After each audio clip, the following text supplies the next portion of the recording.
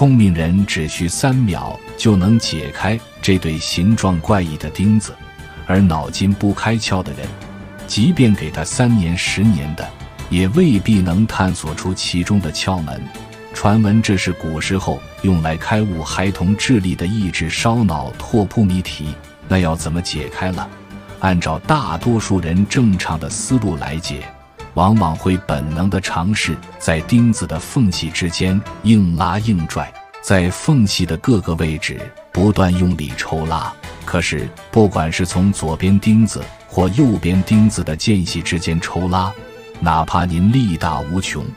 因为钉子之间的间隙宽度刚好比钉子直径小一点点，这就使得两个钉子用蛮力根本是无法解开的。仔细观察它们的整体造型，两个钉子设计的是一模一样，钉子上的两个圆孔是紧紧缠绕在一起的，看似很复杂的结构，实则玩起来没那么容易分开的。这就非常考验孩子。平时在家有没有做逆向思维训练和观察力训练？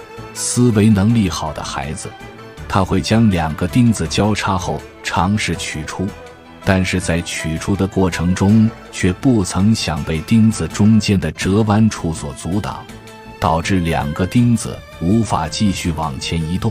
那如果不断的转动钉子了，改变它们的相对位置，还是无法将它们取出来。那要怎么解开了？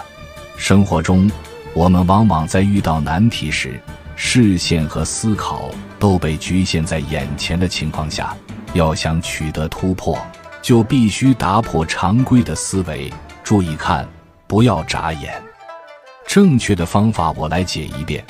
首先，我们将右手的钉子从缝隙处沿着圆环轨道逆时针旋转一百八十六度。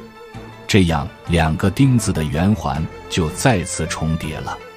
接着，再把右手的钉子再向右翻转一百八十六度。此时想出来被钉帽卡住了，我们只需把右手的钉子往前倾斜抽拉，这样两把钉子就成功的分开了。学霸和学渣最大的区别，并不在于智商，而是思维认知区别，看问题角度不同。经研究发现，那些经常玩益智玩具的孩子，要比同龄孩子更善于思考和解决问题。比如这个智力解构二十四件套，它是古人智慧的结晶。孩子在探索的过程中，无形中锻炼了他们的逆向思维能力和独立思考的能力、空间想象力以及对专注力的培养。同款智力解扣。在视频左下角购买。